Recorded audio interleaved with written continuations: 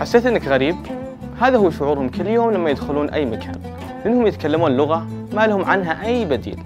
اليوم هو اليوم الوطني السعودي، لكنه يصادف أيضا اليوم العالمي للغة الإشارة. تعلم لغتهم أو على الأقل تعلم كيف تقول أحبك يا وطن তোরে গেছো